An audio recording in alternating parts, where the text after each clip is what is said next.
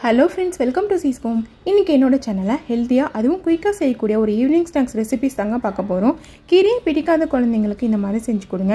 இப்போ சம்மர் ஹாலிடேனால வீட்டில் குழந்தைங்க இருப்பாங்க. அவங்களுக்கு இந்த மாதிரி ஹெல்த்தியான ஒரு ஈவினிங் ஸ்நாக்ஸ் செஞ்சு கொடுங்க. இந்த பாலக் பக்கோடா செய்கிறதுக்கு இன்றைக்கி நான் ஒரு கட்டு பாலக்கீரை எடுத்துருக்குறேங்க.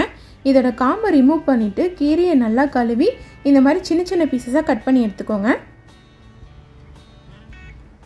கட் பண்ணதை ஒரு பெரிய பாத்திரத்துக்கு சேர்த்துக்கோங்க. அப்போ தான் நம்மளால் மிக்ஸ் பண்ண முடியும். இதில் ஒரு பெரிய வெங்காயத்தை இந்த மாதிரி நீள்வாக்கில் கட் பண்ணி சேர்த்துக்கோங்க. வெங்காயம் ஆப்ஷனல் தாங்க. உங்களுக்கு வேணும்னா நீங்கள் போட தேவையில்லை. பட் வெங்காயம் ஆட் பண்ணால் பக்கோடா நல்லா டேஸ்ட்டாக இருக்கும். இப்போ இந்த வெங்காயத்தையும் கீரையும் நல்லா ஒன்றாகிற மாதிரி கலந்து விட்டுக்கோங்க.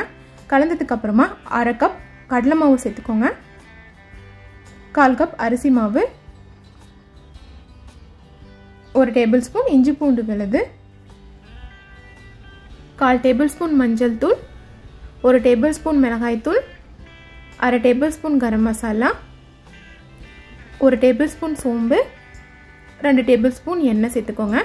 கூடவே பக்கோடாவுக்கு தேவையான அளவு உப்பு சேர்த்துக்கோங்க. இதெல்லாம் சேர்த்துனதுக்கப்புறமா ஒரு டைம் நல்லா கலந்து விட்டுக்கோங்க. இந்த கடலை மாவு அரிசி மாவு நம்ம ஆட் பண்ண மசாலா ஐட்டம்லாம் இந்த கீரையோடு கலக்கிற மாதிரி நல்லா கலந்து விட்டுக்கோங்க. நீங்கள் அப்போவே பக்கோடா போகிற மாதிரி இருந்தால் மட்டும் தண்ணி விடுங்க. இல்லை கொஞ்ச நேரம் கழிச்சு தான் போடுவேன் அப்படின்னா நீங்கள் தண்ணி ஆட் பண்ணாதீங்க. ஏன்னா கீரிலே தண்ணி விடும். அந்த தண்ணியை ஒரு சில சமயம் சரியாக போயிடுங்க கொஞ்சம் கொஞ்சமாக தண்ணி விட்டு இந்த மாதிரி போண்டா மாவு பத்துக்கு நல்லா பசஞ்சு எடுத்துக்கோங்க. இதை இப்போ ஒரு ரெண்டு நிமிஷம் அப்படியே விட்டுடலாம் இப்போ ஒரு ரெண்டு நிமிஷம் ஆயிடுச்சுங்க ஒரு கடாயில் தேவையான அளவு எண்ணெய் விட்டுக்கோங்க. எண்ணெய் சூடானோடனே நம்ம கலந்து வச்சுருக்கிற கீரையை சேர்த்துக்கோங்க.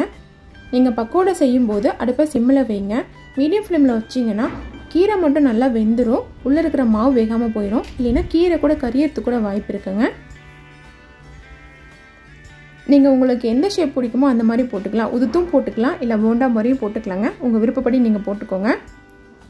ஒரு பக்கம் வெந்தோடனே இன்னொரு பக்கம் போட்டுருங்க.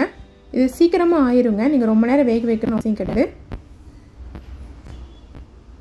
இதோட கலர் மாறினோன்னே நீங்கள் எடுத்துருங்க.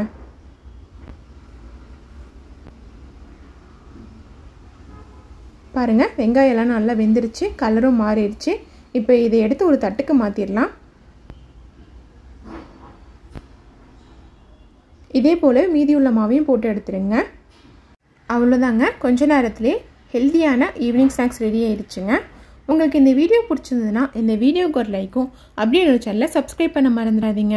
Thank you.